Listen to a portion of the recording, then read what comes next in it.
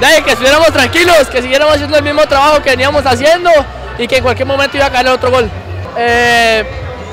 la verdad siento yo que para mí es un título muy importante porque la, la verdad nunca me había lesionado y lo que me pasó la verdad fue muy difícil para mí